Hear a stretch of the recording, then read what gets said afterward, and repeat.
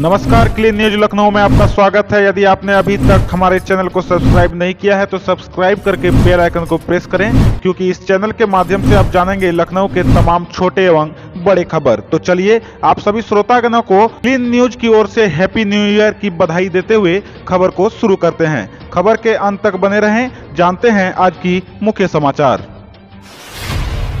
लखनऊ में 131 करोड़ रुपए की लागत से बन रहे लाइट हाउस प्रोजेक्ट का पीएम ने किया शिलान्यास। जी हाँ, प्रधानमंत्री नरेंद्र मोदी ने किया वीडियो कॉन्फ्रेंसिंग के माध्यम से प्रधानमंत्री आवास योजना के अंतर्गत लखनऊ में 131 करोड़ रुपए की लागत से बन रहे लाइट हाउस प्रोजेक्ट का शिलान्यास किया। जी हाँ, प्रधानमंत्री ने कहा कि शहर में रहने वाले गरीब हो या मध्यम वर्ग, इन सब का सबसे बड़ा सपना होता है अपना घर। वो घर जिसमें उनकी खुशियाँ, सुख दुख, बच्चों की परवरिश जुड़ी होती है। लेकिन बीते वर्षों में लोगों का अपने घर को लेकर भरोसा टूटता जा रहा था। प्रधानमंत्री ने कहा कि अब देश का फोकस गरीब और मध्यम वर्ग की जरूरतों पर है। अब देश ने शहर में रहने वालों, लोगों की संवेदनाओं और उनकी भावनाओं को प्राथमिकता दी है। कारागारों की सुरक्षा को और आर्थिक दुरुस्त करने के लिए जेल में पीएससी जवान होंगे तैनात। जी हाँ प्रदेश के कारागारों की सुरक्षा को और अधिक चुस्त दुरुस्त करने हेतु पीएससी के 823 आरक्षियों को विभाग में दो वर्ष की प्रतिनियुक्ति पर तैनात किए जा रहे हैं। इनकी तैनाती को लेकर अपर मुख्य सचिव गृह अवनीश कुमार अवस्थी की अध्यक्षता में आयोजित एक उच्च स्तरीय बैठक में फैसला हुआ। अपर मुख्य सचिव ने बताया कि प्रदेश की कारागारों में जेल वार्डर के रिक्त पदों के सापेक्ष पीएससी के 823 आरक्षियों को दो वर्ष की प्रतिनियुक्ति पर कारागार विभाग में तैनात किए जाने का निर्णय लिया गया है। इस संबंध में आवश्यक आदेश शीघ्र ही जारी किए जाने के निर्देश दिए गए हैं। भाजपा के राष्ट्रीय सह संगठन महामंत्री शिव प्रकाश का केंद्र अब भोपाल में। जी हाँ, भाजपा में सांगठनिक बदलाव किया गया है। अब राष्ट्रीय सह संगठन महामंत्री शिव प्रकाश का केंद्र लखनऊ के बजाय भोपाल होगा। साथ ही उनका कार्यक्षेत्र भी बदला गया है। पार्टी के राष्ट्रीय महासचिव अरुण सिंह के पत्र के मुताबिक शिव प्रकाश अब मध्य प्रदेश, छत्तीसगढ़, महाराष्ट्र, आंध्र प्रदेश, तेलंगाना और चुनावी नज़रिए से सबसे महत्वपूर्ण पश्चिम बंगाल में सांगठनिक काम देखेंगे। अभी तक वह उत्तर प्रदेश का काम देखते थे, पर उनके लिए निर्धारित नए कार्यक्षेत्र में उत्तर प्रदेश का नाम नहीं है। कोरोना काल में अल्पसंख्यक छात्रवृत्ति के लिए 50 फ़ीसदी अंक की बाध्यता खत्म। जी हाँ, अल्पसंख्यक समुदाय के 50 फ़ीसदी से कम अंक पाने वाले विद्यार्थी भी अब पोस्ट मैट्रिक और मेरिट कम मीन्स छात्रवृत्ति के लिए आवेदन कर सकेंगे। सरकार ने कोरोना काल में 50 फ़ीसदी अंक की बाध्यता खत्म कर दी है। विद्यार्थियों को मौका देने के लिए आवेदन करने की अंतिम तिथि भी बढ़कर 20 जनवरी की गई है। अल्पसंख्यक कल्याण विभाग के संयुक्त निदेशक आरपी सिंह ने बताया कि कोरोना की वजह से इस साल छात्रवृत्ति योजना में आवेदन के लिए 50 फ़ीसदी अंक की बाध्यता खत्म कर दी गई। हालाँकि ये सिर्फ़ इस साल तक ही रहेगी। गोरखपुर के जिला जज प्रमोद प्रमुख सचिव न्याय नियुक्त। जी हाँ गोरखपुर के जिला एवं सत्र न्यायाधीश प्रमोद कुमार श्रीवास्तव द्वितीय को प्रमुख सचिव न्याय एवं विधि परामर्शी के पद पर नियुक्त किया गया है। वे मौजूदा प्रमुख सचिव न्याय एवं विधि परामर्शी जेपी सिंह द्वितीय का स्थान लेंगे। इलाहाबाद हाईकोर्ट के रजिस्ट्रार जनरल अक्षय कुमार श्रीवास्तव की ओर से बृहस्पतिवार को प्रमोद कुमार श्रीवास्तव द्वितीय की नियुक्ति संबंधी अधिसूचना जारी कर दी गई। मूल रूप से बांदा के रहने वाले प्रमोद उन्नीस सौ नब्बे में न्यायिक सेवा में आए थे। तमाम जिलों में न्यायिक सेवा के विभिन्न पदों पर रहने के अलावा वे पहले सोनभद्र के भी जिला एवं सत्र न्यायाधीश रह चुके हैं। जिला जेल में ड्यूटी के दौरान कर्मचारी पहनेंगे बॉडी वन कैमरा। जी हाँ जिला जेल में ड्यूटी के दौरान कर्मचारियों व बंदियों के बीच होने वाले विवाद को कम करने और सुरक्षा के लिए जेल प्रशासन ने नई पहल की है। इसके तहत ड्यूटी के दौरान जेल कर्मचारी बॉडी वन कैमरा लगाएँगे। इसकी शुरुआत जल्द ही लखनऊ के जिला जेल में की जाएगी। हालाँकि यह योजना प्रदेश के 10 जिला जेलों के लिए पहले चरण में लागू करने की तैयारी है। नए साल में यूपी के बजट से किसानों, युवाओं को बड़ी उम्मीदें। योगी सरकार के कार्यकाल का आखिरी बजट। जी हाँ, प्रदेशवासियों को नए साल में कई नई सौगातें मिलेंगी। कई पुराने काम हो, पूरे होने से ज़िंदगी आसान बनेगी तो चुनावी वर्ष होने से तमाम अधूरे वादे व नए ऐलान खुशियों की सौगात लाएँगे। खासकर किसानों युवाओं को बजट से बड़ी उम्मीदें हैं। वित्तीय वर्ष 2021-22 का बजट योगी आदित्यनाथ सरकार के कार्यकाल का आखिरी बजट होगा। यह वित्तीय वर्ष एक तरह से चुनावी वर्ष भी है। वर्ष 2022 तक नई सरकार आएगी, लिहाजा 2022-23 का बजट नई सरकार लाएगी। ऐसे में भाजपा सरकार ने दोबारा सत्ता में वापसी को ध्यान में रखकर नया बजट लाने पर माथापच्ची तेज कर दी है। अफसर सरकार का घोषणा पत्र खंगाल रहे हैं कि अभी कौन से वादे अधूरे हैं। मंदिर में दर्शन के साथ शुरू हुआ लखनऊ वासियों का नए साल का पहला दिन। जी हाँ नए साल की पहली सुबह लोगों ने एक दूसरे को नव वर्ष की बधाई दी और धार्मिक स्थल जाकर अपने इष्ट देव के दर्शन किए। हनुमान सेतु मंदिर में सुबह से ही शुरू हो गया था। मुख्य पुजारी चंद्रकांत द्विवेदी ने बताया कि देर रात तक मंदिर के कपाट खुले रहे। सुबह भोर में ही कपाट खोल दिए गए। बीरबल साहनी मार्ग स्थित पंचमुखी हनुमान मंदिर में सुबह सुंदरकांड पाठ के साथ नए साल का स्वागत किया गया।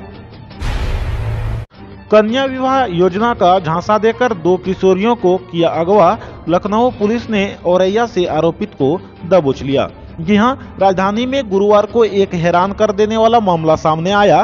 कन्या विवाह योजना के तहत सरकारी धनराशि दिलाने का झांसा देकर दो किशोरियों को बहला फुसला कर साथ ले जाने के आरोपित को केसरबाग पुलिस ने गिरफ़्तार किया है। आरोपित लोगों को योजना के तहत रुपये दिलाने का झांसा देकर ठगी करता था। आरोपित के पास से मार्कशीट, आय और चरित्र प्रमाण पत्र समेत अन्य दस्तावेज़ बरामद किए गए हैं। लखनऊ में इन पाँच अस्पतालों में वैक्सीनेशन का ड्राई रन 2 जनवरी से होगा। हर सेंटर पर तीन होंगे कमरे। जी हाँ, नए वर्ष में कोरोना वैक्सीनेशन अभियान शुरू करने के लिए यूपी ने कदम बढ़ा दिया है। ऐसे में टीकाकरण की तैयारियाँ को परखने के लिए स्वास्थ्य विभाग पूर्वाभ्यास करेगा। 2 जनवरी को राजधानी के पाँच अस्पतालों में वैक्सीनेशन का ड्राई रन किया जाएगा। शहर में 11 मार्च को पहला कोरोना का मरीज़ मिला था। वहीं अप्रैल में वायरस से पहली मौत हुई थी। अब तक राजधानी में पचहत्तर हज़ार से ज़्यादा लोग वायरस के चपेट में आ चुके हैं। वहीं 1100 से अधिक की महामारी ने जान ले ली है। अब नए वर्ष में वैक्सीनेशन से बीमारी को हराने की उम्मीद जगी है। ऐसे में महीनों से चल रही तैयारियों पर गुरुवार को शासन में बैठक हुई। नवचयनित 28 इंजीनियरों व वैज्ञानिकों को मिली तैनाती। जी हाँ, जल शक्ति मंत्री डॉक्टर महेंद्र सिंह ने बृहस्पतिवार को उप्र लोक सेवा आयोग से चयनित 28 इंजीनियरों व भू वैज्ञानिकों को तैनाती पत्र वितरित किया। सभी को मेरिट के आधार पर उनकी पसंद के मुताबिक तैनाती दी गई। इनमें पाँच अवर अभियंता, नौ सहायक भू भौतिकविद और चौदह जल विज्ञानी अर्थात हाइड्रोलॉजिस्ट शामिल हैं। जल शक्ति मंत्री ने सभी से ईमानदारी व निष्ठा के साथ काम करने का सुझाव दिया। कहा, उन्हें उम्मीद है कि सभी नवनियुक्त लोग सरकार की योजनाओं के क्रियान्वयन में लगन से काम करेंगे। प्रशांत कुमार ने इस साल को वैक्सीनेशन और चुनाव के लिए अहम चुनौती बताया है। जी हाँ, अपर पुलिस महानिदेशक कानून व्यवस्था प्रशांत कुमार ने 2020 के आखिरी दिन बृहस्पतिवार को विभाग की उपलब्धियाँ गिनाई। उन्होंने कहा कि 2019 के मुकाबले 2020 में अपराध के हर क्षेत्र में कमी आई है। विभाग के लिए आने वाला साल कोरोना के वैक्सीनेशन और चुनाव के लिए अहम चुनौती है। जी हाँ पुलिस मुख्यालय पर मीडिया कर्मियों से कहा है कि अपराध में कमी की एक बड़ी वजह कोरोना के कारण लॉकडाउन भी था। कोरोना से 12,000 से अधिक पुलिसकर्मी संक्रमित हुए जिसमें पैंसठ लोगों को जान गंवानी पड़ी। उन्होंने जान गंवाने वाले पुलिसकर्मियों को शहीद बताया कई अपराधी मारे गए जबकि काफ़ी संख्या में गिरफ़्तार हुए। महिलाओं की सुरक्षा के लिए 1535 स्थानों पर महिला हेल्प डेस्क बनाई गई।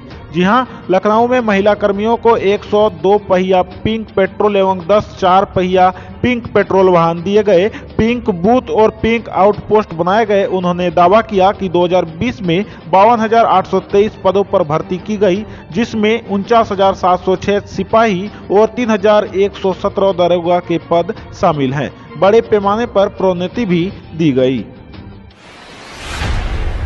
पूर्व मंत्री गायत्री प्रजापति के ठिकानों पर ईडी के छापे में सामने आई 38 करोड़ की संपत्ति।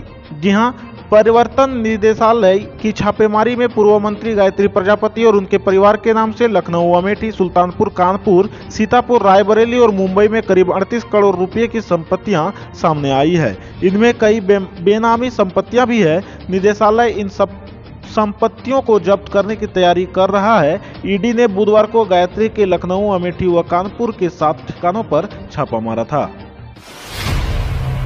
मोहनलालगंज हत्याकांड में पुलिस का सबसे बड़ा खुलासा, पाँच लाख में कराई गई थी पूर्व प्रधान की हत्या। जी हाँ, लखनऊ के मोहनलालगंज के इंद्रजीत खेड़ा के पूर्व प्रधान व व्यापार मंडल के अध्यक्ष सुजीत पांडे की 20 दिसंबर को गोली मारकर हत्या कर दी गई थी। इस हत्याकांड का खुलासा पुलिस ने कर दिया है। मंगलवार रात को आसियाना इलाके में हुए मुठभेड़ में पुलिस के साथ दो शूटर लगे थे। दोनों शूटरों ने कई राज उगले हैं। जी हाँ, पुलिस अधिकारी के मुताबिक पूर्व प्रधान की हत्या के लिए साजिशकर्ताओं ने पाँच लाख रुपए की सुपारी दी थी। हत्या राजनीतिक वर्चस्व कायम करने के लिए कराई गई थी। हालाँकि पुलिस प्रॉपर्टी के कारोबार की डिटेल खंगाल रही है, वहीं दो साजिशकर्ता जेल में हैं। उधर मुख्य साजिशकर्ता की तलाश करने की बात पुलिस ने कही है।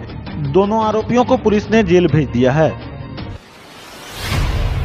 यूपी में देर रात और आईपीएस अधिकारियों का हुआ प्रमोशन। नवनीत सिकेरा बने एडीजी जी हाँ, शासन ने देर रात सात और आईपीएस अधिकारियों के प्रमोशन की सूची जारी कर दी। केंद्र से अपर पुलिस महानिदेशक के तीन पद अस्थायी मिलने के बाद यह सूची जारी की गई। ऐसे में अब उन्नीस सौ छियानवे बैच के उन सभी आईपीएस अधिकारियों का प्रमोशन हुआ है, जो उत्तर प्रदेश में उपलब्ध थे। प्रमोशन पाने वालों में आगरा रेंज के IG A Satish Ganesh IG कानून व्यवस्था ज्योति नारायण, पुलिस मुख्यालय के IG budget Navneet Sikera IG fire service Vijay Prakash IG Varanasi range Vijay Singh Meena DGP मुख्यालय में तैनात आईजी एन रविंदर और एसटीएफ के आईजी अमिताभ यश अब एडीजी के पद पर प्रोमोट कर दिए गए हैं। हम रोज़ ऐसे ही न्यूज़ लाते रहेंगे। तो यदि आपने अभी तक क्लीन न्यूज़ को सब्सक्राइब नहीं किया है तो पहले फटाफट सब्सक्राइब कर लें। साथ ही बेल आइकन को दबा दें, ताकि कोई अपडेट मिस ना हो।